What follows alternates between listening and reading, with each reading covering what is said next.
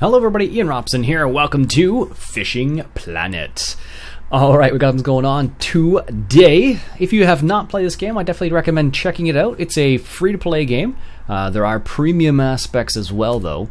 Um, for example, there is a premium shop uh, for premium accounts. So, for example, for a one-year license, which gives you a 50% boost in experience, uh, earned for every fish you catch. You also get a premium wallet with 2,000 credits plus a pack of advanced annual licenses for all states. So, what you get is 360 days of a premium license, 2,000 credits, advanced annual licenses pack for 360 days.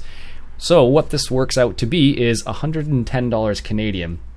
So, that just gives you a just gives you an idea. That's the premium packs, and these are the credits. You actually don't need to buy this. This isn't um, this isn't actually the ultimate way of buying things. Uh, let me give an example. So here you can buy this with money, for example, these types of things. You get these things by, or you get the money, I should say, by catching fish, which is one of the reasons why the stringer is so important. Because at the end of the day, you get a amount of money based on how big your stringer is, or you can use one of these, for example. So keep that in mind. So having said that, let's go ahead and show you what I got. So right now I have a denim vest, I don't have a hat, I don't have a case. Uh, I'm using this type of setup, a float, hook, and red worms. I also have a float, a hook, and some bread. And you have a carrying case as well, which allows you to carry two case or two cases, two rods at the same time. So I have been talking about this game as of late because I was curious. I watched Landy Kid play it. I also saw a kick to the head, and I think actually uh, Daggerwin checked it out as well.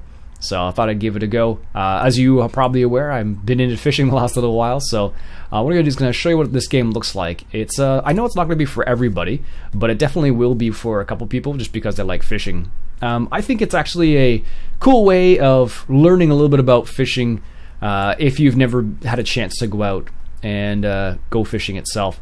Uh, for example, if you put the wrong type of line, I think I can do it.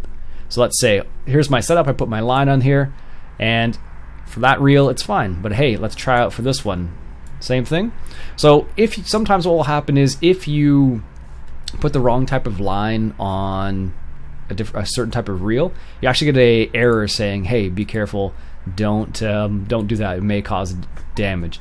Also, it gives you an idea of the type of material you need to use. So, for example, this is a 150 yard, te- two pound test. So it's basically for small fish and some small bass. Basically, you can't really um, you couldn't do a, cr- a, crazy amount with it, uh, but it does allow you to catch some of the smaller fish in the starting early game. So let's go ahead and get some fishing done. So I'm going to choose this last Songs of Summer area. Let's go fishing there. Now, one of the things I did notice is that there is a bit of a loading time. And as you can see, it depends on your computer. Some computers will probably be faster than others. Uh, so all you need to do is walk up to the area that you want to fish in and your rod automatically comes out. So if you want to see all the different uh, indications as to what you could actually do, um, that is how you do it. You just press F1 and it brings up all this information right here. So, anyways, I'm going to cast it out there. Uh, I've been led to believe that this area right in front of me, right here, is a good area to fish in. So, we're going to go ahead and fish right in there. So, unfortunately, it is exactly like real fishing because it is supposed to be a fishing simulator. So, given that fact, you do end up waiting for fish from time to time. So, I only have a bobber set up at the moment, so I can't really do much with it for the time being. But uh, you do get a chance to upgrade eventually as well, so that's kind of cool. And you can upgrade the different types of lure. You can actually get lures. Uh, you can get different types of baits. Right now, I'm using red worms with a hook size of six, which is kind of a small size hook actually. Um, for example, some of the some of the fish I've been catching lately have been on a what they call a five aught, which is like a it's about this big, uh, maybe I don't know, something along those lines. It's a special fancy type of hook. It's a gamma gamasuka or something like that. Um, but super super sharp. Oh, there's a fish right there. Nice. Uh, it's bluegill, eight inches, you get one experience point for that, which is that, and it's 0.45 pounds. So the idea here is you want to keep as many of these fish as you possibly can because you get experience based on, or you get money, I should say, based on that. That's what you want to do. Uh, so that's how the game kind of works. It's really, uh, it's really simple. Uh, as you can see, I only have a bobber set up at the time being, so I'm playing this old game. Uh, played, done this many times in real life before. Um, it's a lot of fun actually. If you've never been out fishing before, I definitely recommend trying like a little float setup like this. It's a lot of fun. Whether you're in England or United States, uh, get some worms. You can just dig them up. You, you don't even need to go and purchase them. You can just dig them up and put them on a hook, and you'll be bound to catch fish. It's pretty fun actually. I definitely recommend it. Um, one of the easiest ways to get into it. So let me tell you a little bit of a. Oh, oh, oh! Was that another hook? Yeah, we just got another fish. What do we got here? Oh, oh, oh! Better lower the tip there a little bit. Eesh. Ooh, got a bluegill. Nice. So you do lose your bait every single time you uh, you catch a fish, basically, which is a bit unfortunate, but what can you do? So, anyways, I took my uh, my nephew-in-law, I guess, out fishing a while back, and uh, he's only like seven. And now every time I see him, he's like, "Hey, Uncle Iain, do you want to go fishing? Do you want to go fishing?" It's really funny. Uh, I only did I only took him out for a short amount of time too, but uh, he really enjoyed himself. I guess no one's ever taken him fishing before, so he lives on a farm, so he's seen all the farm side of things, but never been fishing. So he really enjoyed himself. So all we did was this exact type of fishing, float fishing. He had um, a small little uh, rod that he already had, and he uh, I put a small hook on him, and he caught. Oh, got another fish. Nice. What do we got here? I don't know. I was always taught when I was younger to keep the tip of the rod up, so that's what I end up doing all the time in this game as well. Another bluegill. So what I'm actually trying to catch is uh, pay attention to the weather. If the sky is clear, fast forward to 8 a.m. The sky is overcast, try 10 a.m. So there you go. I got the tips turned on still. Cast your tackle near the reeds to the left bank. Don't forget. Anyways, you can do. Uh, let's try their suggestion. What are we at? 5 a.m. So let's advance time two hours. So uh, you could, there's lots of different things you can do in this game. In real life, you actually have to wait it out. You can't just fast forward time.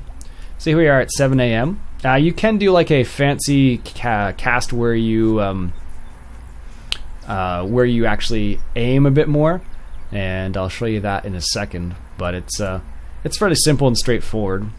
I'll just do this this way. Reel that sucker in again. All right, so here we go. It's just instead of it being a left click, it's a right click, and then you can kind of aim where you want to cast. So I want to cast right here where the fish are. So then on the right hand side of the screen there, it shows you where you have to get your your cast, I guess. Or I don't know how to describe it. It's like a meter that goes up and down. And you just click the button when you hear you're in the in between the two lines, basically. That's all it is. Uh, fairly simple. Uh, but I've been told this is where the bass are, and I was catching some bass here the other night on this little section of land here. Actually, I, I went fishing yesterday, and I caught a couple nice bass. Actually, like a one and a half pound, something like that, and a little small fish. I uh, caught the first one on a buzz bait, which is kind of like a lure that goes like makes like a clacking sound on top of the uh, the water, and then I caught the other one on a spinner bait. Uh, both of them were the same color. They were chartreuse, which is like green essentially like a light green color. And uh, caught them both on that color. Another one was a spinner bait, and the, the spinner bait was like probably what time was it? I would say it's probably around 10 o'clock. I think is when I caught that fish. It was a pretty good fish actually. And there was somebody behind me. It was really strange. Someone like was walking behind me because where I go fishing normally, ah, it was too early. Um, normally I go fishing. Normally there's a it's like a really busy pathway area. So some guy behind me was like, good job for putting it back sort of thing. And I was like, oh, thanks. So I, I, I, I practice catch and release. I don't, uh, I eat fish, I just don't want to eat fish from the city, basically. That's what it boils down to. So, anyways, I just thought I'd show what this game was like. I'm just babbling on and now, on now about fishing. Uh, definitely check it out. It's uh, on Steam, it's a free game. It's a freemium game, I should say. Uh, it's a lot of fun. It gives you a good, a good indication of what it's like. It's not exactly like real fishing. Like, for example, they have a little indicator on the screen showing you, you know, how much fish, like how much uh, your bobber's moving, sort of thing. Like in real life, you don't have that. Obviously, you can only just watch your bobber. But I find the bobbers are a bit difficult to. Uh, it's I don't know. It just seems a bit strange uh, in comparison to real life a little bit. So I have the bobber set up so it's actually the largest it can go just so I can see it better.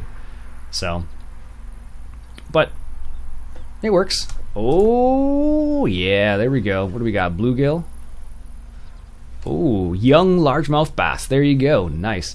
You get six experience for that. 11 point, 11.1 inch, 0.7 pounds. Pretty good there. Anyways, folks, uh, that'll be it for me for today. Uh, that's Fishing Planets on Steam. It's free. Check it out. And um, I'm also it's a multiplayer game as well, so it's kind of cool. So you can play it with your friends and uh, anybody else who's playing the game, basically. So, anyways, folks, that's it for me for today. My name's Iain Robson. This has been Fishing Planet. Catch you guys later.